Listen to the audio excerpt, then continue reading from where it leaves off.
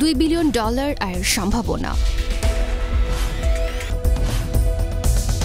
নাগরিক জীবনে ব্যস্ততার কারণে ঝামেলা এড়াতে মানুষ এখন প্রক্রিয়াজাত খাদ্যে ঝুঁকছেন। আর এই প্রক্রিয়াজাত খাদ্য ও মশলা শুধু দেশেই নয়, রপ্তানি খাত হিসেবেও ক্রমশ বড় হচ্ছে এর বাজার। উৎপাদক ও রপ্তানিকারকরা বলছেন, বাংলাদেশ থেকে প্রক্রিয়াজাত খাদ্য বিশ্বের একশো পঁয়তাল্লিশটি দেশে রপ্তানি হচ্ছে। এশিয়া, মধ্যপ্রাচ্য, আফ্রিকার পর বাংলাদেশি খাদ্যপণ্য এখন ইউরোপেও যাচ্ছে। ভবিষ্যতে এর পরিসর আরও বড় হবে।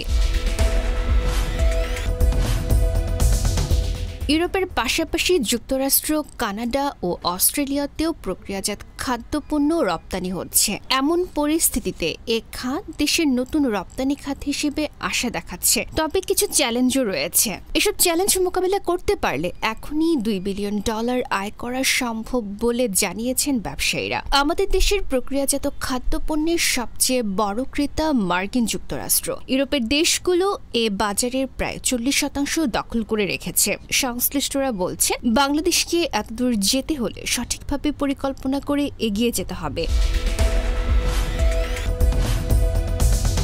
দেশের জিডিপিতে প্রক্রিয়াজাত খাদ্য খাতের অবদান এক দশমিক সাত শতাংশ। জাতিসংঘের খাদ্য ও কৃষি সংস্থার তথ্য অনুযায়ী প্রক্রিয়াজাতকরণ ও সংরক্ষণের অভাবে বাংলাদেশে প্রতি বছর মোট উৎপাদনে ত্রিশ শতাংশ ফসল নষ্ট হয়। পণ্য উৎপাদনের সব পর্যায়ে অবকাঠামোগত উন্নয়ন করতে পারলে এ অপচয় রোধ করা সম্ভব।